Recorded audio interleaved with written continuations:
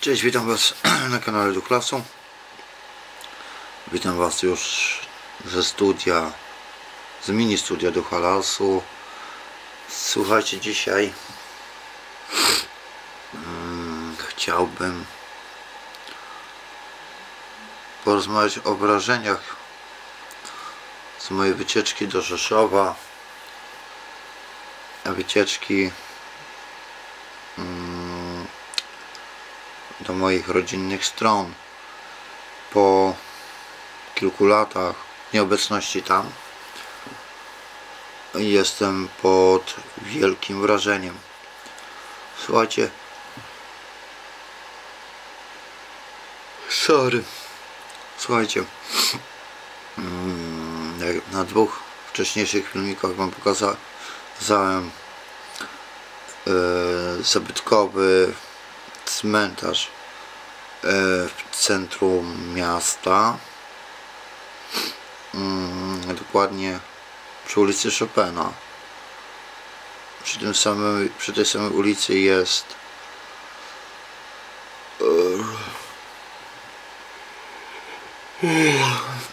przy tej samej ulicy znajduje się szpital wojewódzki numer 1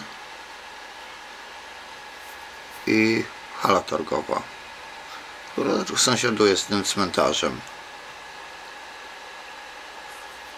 Drugim z miejsc to był rezerwat przyrody Lisia Góra z obszarem rekreacyjnym. No niestety nie udało mi się Wam pokazać jeszcze kilku innych miejsc, ale to może następnym razem.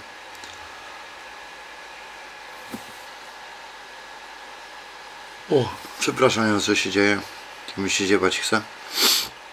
A słuchajcie, ee, nie zdążyłem wam pokazać jeszcze żwirowni, która jest po drugiej stronie Wisło, zalewu na, wi, yy, na, Wisło, na rzece Wisłok na wysokości właśnie rez, yy, rezerwatu przyrody Lisia Góra też ponoć się dużo zmieniło. Co do samej Lisi Góry, słuchajcie, mm, ja ją pamiętam jako naprawdę dzikie miejsce, miejsce typowo zielone, w którym znajdowały, znajdował się, znajdowała się jedynie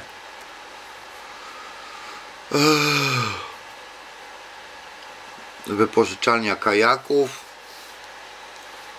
Miejsce na grilla. Niewielka alejka. I to wszystko. W chwili obecnej tam jest. Tam się znajduje e, mini golf plac zabaw grill, miejsca na ognisko, e, wypożyczalnia sprzętu wodnego, e, kawiarnia, przystań. Tak, dobrze mówię? Tak, dobrze mówię. Słuchajcie. Mm, ze starych desek, pniaków jest zrobiony tor przeszkód. Mm, co tam? A, jeszcze wcześniej była tam y, stadnina, stadnina koni. Teraz jak tam byłem, no to nie było już, nie ma już tej stadniny koni. Yy, niestety nie wiem co się z nią stało. Nie miałem nikogo takiego kompetentnego, by udzielił mi takiej informacji, co się stało. Ale są również e, porobione tam ławeczki, leżaki. No i zauważyłem, że strasznie dużo, dużo, dużo.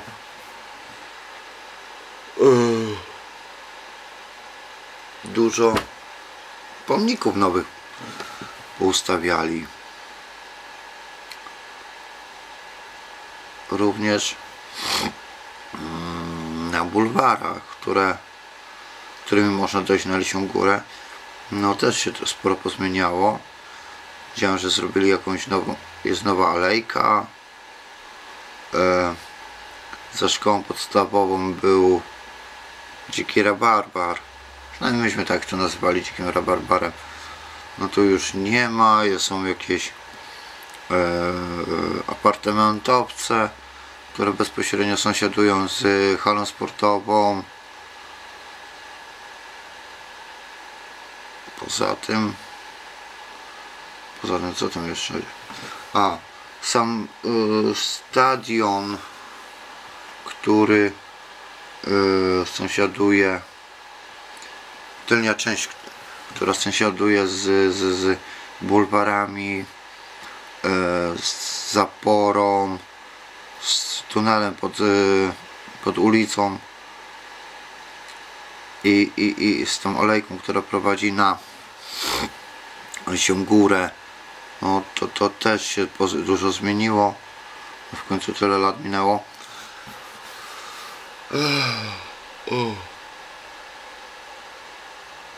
oczywiście poniżej wrzucę wam linki do tych filmików gdzieś tutaj na karcie się to teraz pokazuje z tej albo z tej strony mm. co tam jeszcze ciekawego no stary cmentarz no, też się zmienił. Myślę, że też się dużo zmieniło. E, jak zauważyłem to odkryto i pozaznaczano całkiem nowe groby. No, nie są to jakieś groby marmurowe czy z jakimiś figurkami. Zwykłe ziemne e, groby oznakowane są krzyże, ewentualnie groby zbiorowe. Także na, na starym cmentarzu, do którego mam duży sentyment, się pozmieniało. Sentyment mam dlatego, że mojego kolegi dziadek był konserwatorem zabytków tam. Wiele z nich, z tych nagrobków, on to odresta- y, naprawiał odnawiał. Wielokrotnie mu się przy tym pomagało. Mm, z tego względu mam duży sentyment do tego miejsca. Mm, miejsce urokliwe. Również yy, sąsiadujące z rzeką Wisłok. Co poza tym? No zresztą, co mam będę dużo mówił. Serdecznie Was tam zapraszam. Możecie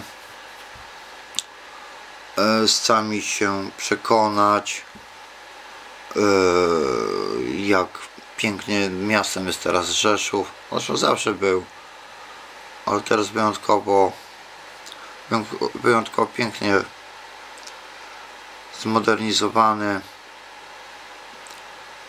deptak na przykład na 3 maja. Są tam różne osoby na takich specjalnych płytach czy to kostkach y, y, wygrawerowane na deptak y, są tu i montowane są w, w deptak jeżeli byście chcieli mm, zobaczyć panoramę Rzeszowa a jednocześnie mieć ten Rzeszów u stóp mm, to zapraszam Was do Słociny Teraz to chyba jest ulica Słocińska. Kiedyś trzeba wieść Słocinę. E, Podrocha. Tam na gór może e, wyjść na górkę. No i ma się wtedy całe miasto praktycznie u stóp. Wszystko ładnie widać. Zwłaszcza wieczorową porą, kiedy światła e, miasta świecą. Bardzo ładnie to wygląda. Zapora jest oświetlona. Most przy ulicy Wierzbowej również jest oświetlony. Widziałem, że jakiś nowy most jeszcze jest. Także słuchajcie, nic, tylko pojechać, zobaczyć i samemu y, odczuć wrażenia, jakie robi to miasto. Zwłaszcza, że no cały czas się rozbudowuje. Zwłaszcza ten obszar y, prawo, prawobrzeżnego Wisłoka jest y, cały czas rozbudowywany. Targ przy ulicy Dołowej został również przeniesiony. Mówię, no kolosalne, kolosalne zmiany. Niestety nie udało mi się wszystkiego pokazać. Pokazałem Wam dwa, dwa miejsca z wielu. Mam nadzieję, że uda mi się tam jeszcze pojechać. Um, choćby do rodziny i przy okazji Wam pokazać pozostałe miejsca.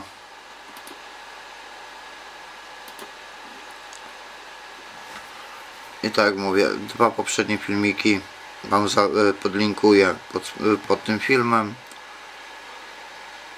I i, i, i będziecie mogli się zapoznać. Słuchajcie, jeżeli jesteście tutaj, to sprawdźcie, bo może być tak, że YouTube odsubskrybował Wam mój kanał, więc klik- kliknijcie ten przycisk na dole subskrybuj, obok dzwoneczek, żeby dzwonił, żebyście mieli na bieżąco powiadomienia, jak również zostawcie łapkę w górę, to bardzo motywuje e, mnie do dalszego działania, do tego, żeby nakręcać filmiki, pokazywać Wam inne miejsca. Mm, Na dniach wybieram się do lasu w miejscowości Filip- Filipowice. E, Już z niego nagrywałem filmik któryś raz. Dostałem zasy, o, zasypiały las. Dostałem informację z nadleśnictwa, że mają ponoć to do końca roku wysprzątać. Więc no trochę czasu już upłynęło. Pójdę pójdę, chcę tam właśnie pójść, zobaczyć czy zostało wysprzątane. Zwłaszcza teraz w czasie y, w tym czasie, który mamy, czyli w czasie koronki. Czy udało się wysprzątać las i pas przydrożny. Mm. I do zobaczenia w następnym filmiku. Mam nadzieję, że już tym razem z terenu, gdzie normalnie sobie tym razem rozbiję już namiot, ale nie z pałacu, tylko zwykły namiot. No, I jakoś miło razem spędzimy czas. Do usłyszenia w następnym.